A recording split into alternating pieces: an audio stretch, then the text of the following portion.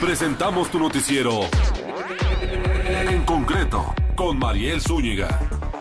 Entonces creo que el hecho de hacerlos en, un cofinanciamiento pues resuelve la problemática de manera importante.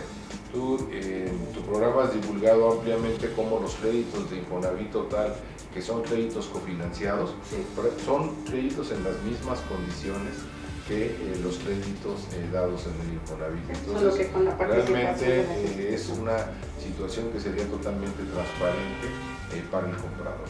Exacto. Y bueno, este, antes de hablar de los nuevos créditos, cambiando el tema, este, contador.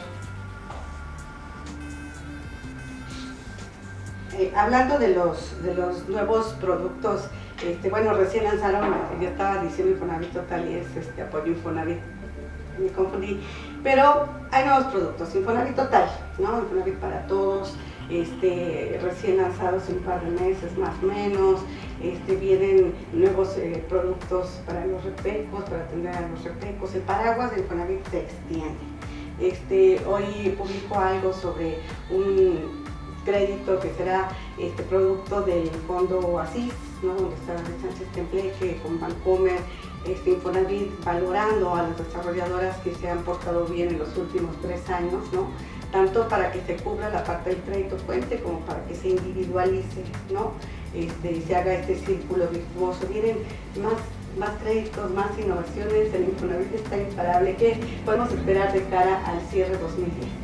Bueno, yo espero un buen cierre de año, eh, que cumplamos la meta de 475 mil créditos, ese es el objetivo principal en el que estamos trabajando. Y ya más a mediano plazo estamos precisamente en ampliar la base de derechohabientes y eso tiene que ver mucho con el tema de reformas a la ley que necesitamos eh, un mandato más amplio para poder ir a otro tipo de derechohabientes. Por lo pronto estamos empezando con trabajadores domésticos y con trabajadores del régimen de pequeños contribuyentes, que son eh, alternativas que nos permite la ley actual pero eh, para efecto de poder ir adelante necesitamos algunas modificaciones a la ley. Nosotros esperamos ampliar la base de derechohabientes porque a lo mejor parece increíble, pero eh, cada vez la satisfacción de la necesidad de vivienda se hace de mejor manera y como dicen los propios desarrolladores, pues cada vez es más difícil encontrar un cliente para la compra de casa. Entonces, por ello para nosotros es muy importante el empujar, el ampliar la base de derechohabientes del Infonavit y ofrecer eh, nuevas opciones como lo hemos hecho con anuncios recientes como el de la renta con opción a compra, como el programa que también ofrecimos de ITO, de Infonavit ITO, y, bueno, todas estas son opciones que están, eh, por un lado, ampliando el número de derechohabientes, mejorando la demanda, pero por otro lado ofreciendo alternativas que de acuerdo a encuestas que, realizamos entre los propios derechohabientes son importantes que, eh, existan eh, eh, para poder comprar una casa. ¿Qué nuevos productos entonces, qué nuevos créditos? ¿Hacia dónde se extiende el anaquel que ofrece Infonavit para el cierre de este año y bueno, pues ya está la vuelta de esquina en 2011. Bueno, además de lo, de lo que ya hemos platicado, eh, una de las cosas importantes es que eh, muchos derechohabientes eh, quisieran otras opciones que estamos empujando, como por ejemplo el crédito para mejora de la vivienda, el crédito para poder construir ellos el terreno propio y, o el crédito para comprar una casa usada y remodelarla. Nosotros vamos en lo que resta del año a estar ofreciendo productos en ese sentido de poder completar eh, la gama de productos que ya tenemos de vivienda nueva con otros eh, que tienen que ver con vivienda usada y con mejoras a la vivienda. Exacto. Y bueno, pues eh, ahora sí que haciendo una valoración, ¿no? Ya de cara al cierre de este 2010 ¿Cuál puede decir usted que es el estatus, el avance, este, los principales obstáculos y principales retos que hay en el Infonavit? Ya está comentando usted, se extiende este, el anaquel, vamos completando de acuerdo a las necesidades de los derechohabientes, de la población.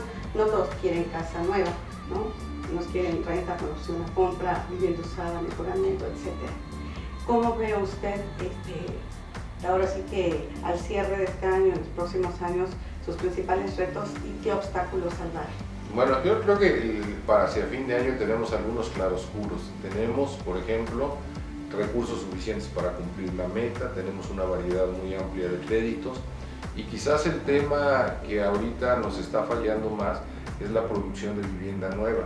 Aquí lo que nosotros quisiéramos es que los desarrolladores de vivienda aceleraran el ritmo de producción de vivienda porque ese precisamente está siendo el mayor riesgo en este momento para poder cumplir la meta hacia fin de año. Y lo está detectando desde ahorita, que ya sería como el tercer año, donde no llegan a la meta los eh, desarrolladores de vivienda en cuanto a producción, ¿verdad? Para poder Así es, yo, yo creo que ahorita es el principal reto, tenemos que acelerar el paso, todavía nos faltan eh, más de tres meses para cerrar el año, tiempo suficiente para pues, poder eh, producir la vivienda nueva necesaria para efectos de lograr esta meta. ¿Vivienda nueva de qué nivel? ¿Sería básicamente económica, interés social o de todos los segmentos? Bueno, fundamentalmente el, reto está en vivienda para trabajadores de menos de cuatro salarios y para trabajadores de más de 11. Son los, los dos puntos donde tenemos un reto importante. Eh, a lo mejor eh, se ha eh, exagerado eh, la venta en trabajadores entre 4 y 11, donde incluso estamos sobrepasados de la meta anual, pero sí necesitamos eh, acelerar en esos dos segmentos de la población.